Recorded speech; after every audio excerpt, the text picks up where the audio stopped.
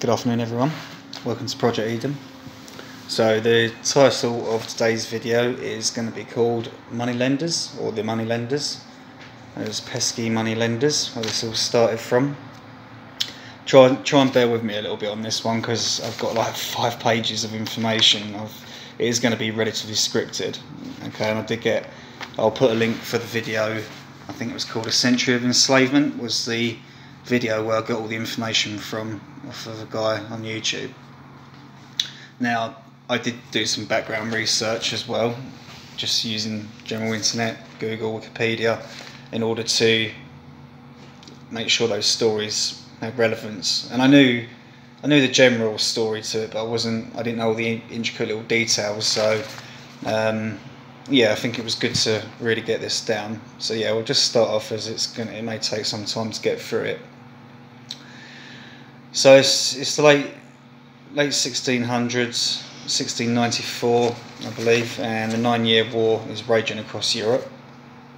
King Louis XIV of France is fighting against most of Europe, and King William III of England, um, who's basically fighting over his title and territorial disputes, was devastated in a stunning naval defeat by the French.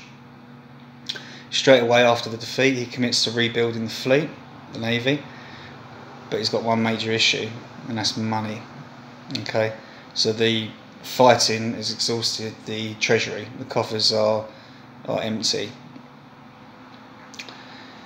In um, oh, okay, sorry, it couldn't have been 1694. It must have been prior to that. So in 1691, sorry, Scottish banker William Paterson offers a solution he proposes to form a company to lend a million pounds to the government at 6% plus £5,000 management fee with the right to of no issue, so to issue currency money. Okay. Right, by 1694, the offer has been revised at 1.2 million pounds at 8% £4,000 management fee and the right to issue currency. And they go ahead with that plan and they create the Bank of England. Now, the Bank of England is no more British than British Gas, okay? From there, you can establish already it is a privately, it's a private enterprise. It's a, it's not part of the government, but they give it a title, the Bank of England, makes it all sound very official, but it's not. It's a private organisation, okay? Moving on. Um, I'm just going by my notes here, sorry. So it says, yeah, the American Civil War was to fight against British rule of the colonists' money.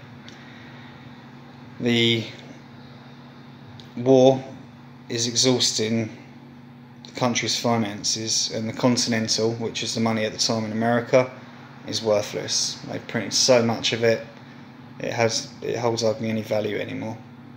Okay.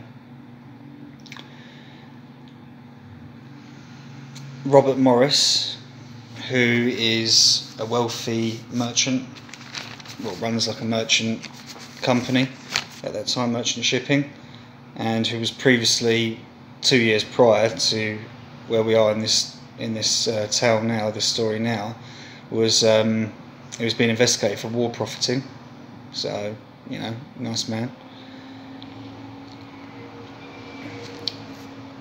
And he has got to the point where he's the second most powerful man in the US next to George Washington. So he certainly holds a position. Anyway, so he advocates a private central bank modelled on the Bank of England, believe it or not, which the colonies were fighting against in the first place. So you know, you can, hopefully you can see the contradiction now backed into a corner and trying to fight a war. Congress really didn't have any other option. It was either give up the campaign or sort of go with this guy's idea, with uh, Morris's idea. So, what Congress did was they chartered the banker's proposal um, to print the nation's currency and they set up the National Bank for the United States of America and they agree to lend 1.2 million dollars as they did in England, lending 1.2 million pounds. Okay, so it's just like a mirror, a mirror idea. But this time round, it's on on a continent that is, you know, America at that time was the new world. It was pretty much still untouched in the respects that the, the colonies, the 13 colonies or whatever, had been set up. Poor natives were getting pushed out of their land, but they still held sort of the central territories, and the French were over on the sort of coming in from the west coast, and the Spanish were down in the south, mainly South America. Um, yeah, so proposed this banking, chartered it in $1.2 million.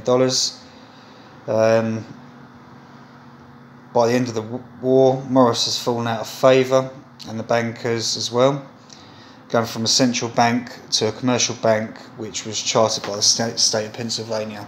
So they've fallen out of, out of power and lost their position even by then. My phone keeps sort of semi freezing as well. Bankers don't give up, and in seven, by 1789, before the ink is even dry on the Constitution, was it? That should be 781, shouldn't it? No, I put 789, must be. Um, a group led by Alexander Hamilton. Hamilton is working on the next private bank of the newly formed United States of America. In a letter from Hamilton to James Duane in 1781, Hamilton wrote, A national debt, if it is not excessive, will be to us a national blessing. These people are fucking unbelievable. It will be a powerful cement of our union. It will also create a necessity for keeping up taxation to a, to a degree which, without being oppressive, will be a spur to industry.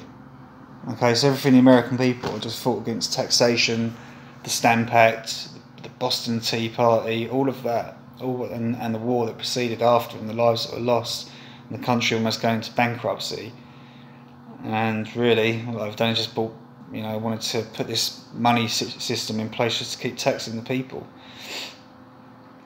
Um,